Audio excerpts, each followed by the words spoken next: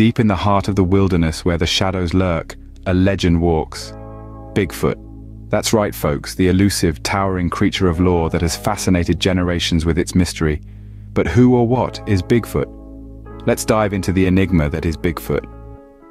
In the annals of folklore and mythology, creatures similar to Bigfoot have made regular appearances, intriguing and terrifying people in equal measure. This elusive creature goes by many names across the globe, each revealing a unique story and a different facet of the same mystery. In the snowy expanses of the Himalayas, it's known as the Yeti. In the dense forests of North America, it's Bigfoot or Sasquatch. Across the pond, in Europe, it's the Wild Man. And in Australia, they call it the Yowie. Despite the different names and varied descriptions, these tales share a common thread, a large, hairy, bipedal hominid that lives far from human habitation, hidden in the heart of nature, glimpsed only rarely by the fortunate or the unfortunate, depending on how you see it. Adventure enthusiasts worldwide have been drawn to this enigma, their curiosity piqued by the tales, and the sporadic evidence that seems to suggest the existence of this mythical creature. The thrill of the unknown, the lure of the undiscovered, the tantalizing possibility of coming face to face with a legend, all these factors contribute to the fascination with Bigfoot. Yet, for all the fascination and intrigue, the existence of Bigfoot remains an unsolved mystery. Is it a relic from our prehistoric past? Is it an undiscovered species? Or is it merely a figment of our collective imagination, a manifestation of our primal fear and fascination with the unknown? But how real is Bigfoot? Can there be truth in the tales? As we delve deeper into the mystery, remember, truth can sometimes be stranger than fiction, so keep an open mind and let's explore the legend that is Bigfoot. From the depths of the forests, tales of encounters echo, stirring curiosity and wonder.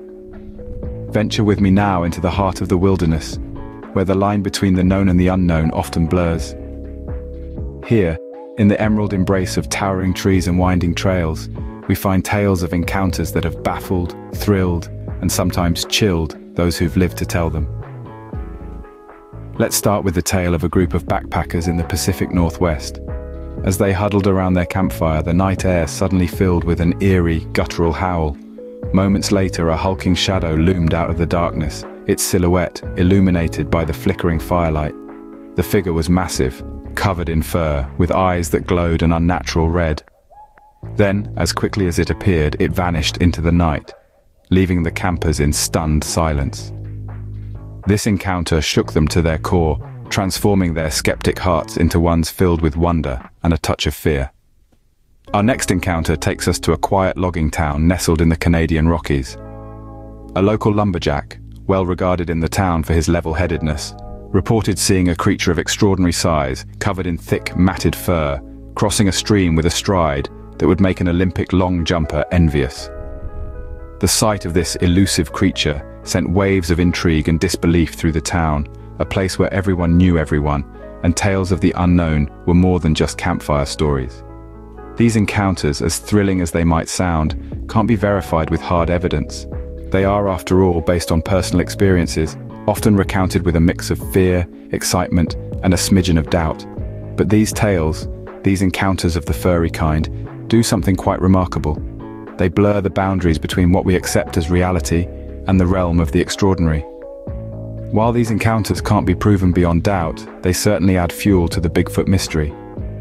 Tracks in the mud, a fleeting shadow, an eerie call in the night. The clues are there, waiting to be deciphered. And it's these clues that make up the evidence trail of Bigfoot, an enigma that has baffled us for ages let's take a closer look at some of the most compelling pieces of evidence that suggest the existence of this elusive creature. One of the most potent pieces of evidence we have are footprints. Bigfoot footprints are often enormous, some spanning nearly two feet long. The prints are not just large, they are also deep, indicating a creature of substantial weight. What makes these footprints particularly interesting is the detail. The clear impressions of toes, arches and even dermal ridges, akin to our fingerprints.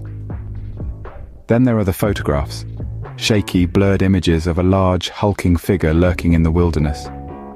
The most famous of these is the Patterson-Gimlin film, a 60-second footage captured in 1967 showing a bipedal creature walking along a riverbank.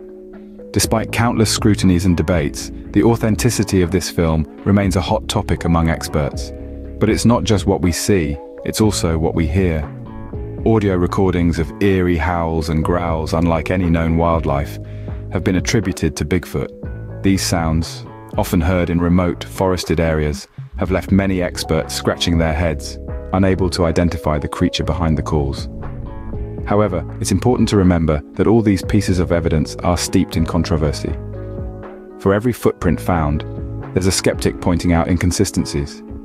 For every photograph, there's a doubter highlighting potential manipulations. For every audio recording, there's a debunker questioning its origin. And yet, despite the skepticism and the debate, the evidence trail continues to captivate us. It challenges our understanding of the world and fuels our curiosity. It keeps the legend of Bigfoot alive and kicking. The evidence may be contentious, but it continues to intrigue and enthrall. In the world of Bigfoot, not everyone is a believer. Yes, you heard that right. Amidst all the thrilling encounters and fascinating evidence, there's a corner occupied by those who remain unconvinced. They're the skeptics, the doubters, the naysayers, and their voices are just as important to this enigmatic tale. Firstly, let's talk about the skeptic's perspective. Many argue that the Bigfoot phenomenon is nothing more than an elaborate hoax, they point to the lack of conclusive evidence. No bones, no droppings, nothing that definitively says Bigfoot was here. They scrutinize the footprints, the hair samples, and the grainy videos, often finding plausible explanations that don't involve an eight-foot-tall, hairy hominid. Then, there are those who propose the theory of misidentification. Could that dark figure lurking in the woods be a bear, a shadow, an overgrown shrub? Humans are notorious for letting their imaginations run wild, especially when fear and uncertainty come into play. In the grand scheme of things, a bear misidentified as Bigfoot is not that far-fetched. Let's not forget the power of folklore and mythology. Stories of giant hairy creatures have been told around campfires for centuries. Skeptics suggest that Bigfoot could simply be a modern manifestation of these ancient tales, a creature born from our collective consciousness rather than the depths of the forest. But here's the thing. Skepticism is not about debunking or dismissing. It's about questioning. It's about ensuring we don't blindly accept every footprint or blurry photo as irrefutable proof. It's a necessary counterbalance, a voice of reason that pushes us to delve deeper, to scrutinize harder, and to seek out the truth, however elusive it may be. So whether Bigfoot is a creature of flesh and blood, a figment of our imagination, or something in between, the skeptics remind us of a crucial point. Whether Bigfoot is real or not, skepticism ensures we keep questioning and exploring. Bigfoot, a creature of myth or reality, continues to captivate the imagination of adventurers worldwide. The allure of this elusive entity is intriguing to say the least. It transcends the boundaries of mere curiosity, taking a firm hold in the realm of popular culture and sparking the spirit of exploration in countless individuals. Why is Bigfoot such an enduring subject of fascination, you might ask? The answer lies in the human psyche's propensity for mystery and the unknown. Bigfoot embodies the quintessential enigma, an ancient legend persisting in the face of modern science and skepticism. It's a symbol of the wild, untamed frontiers yet to be fully explored, a testament to the fact that, despite our technological advancements, there are still mysteries out there waiting to be unraveled. This fascination with Bigfoot isn't just confined to a niche group of cryptozoologists or folklore enthusiasts. It has permeated mainstream popular culture appearing in movies, television shows and literature. Bigfoot walks the line between the realm of science and fantasy, offering a tantalizing mix of fear, intrigue and excitement. These elements make for compelling narratives that captivate audiences, fueling the enduring allure of the creature. Moreover, the search for Bigfoot inspires exploration and adventure. It's a quest that takes individuals off the beaten path into the heart of nature's unspoiled wilderness. This quest is about more than just finding Bigfoot. It's about the thrill of the chase, the joy of discovery, and the satisfaction of solving a mystery. The Bigfoot phenomenon is a testament to the power of storytelling and the human desire for exploration. It pushes us to question, to search, and to venture into the unknown. It reminds us that the world is full of mysteries waiting to be solved, and that the pursuit of knowledge is an adventure in itself.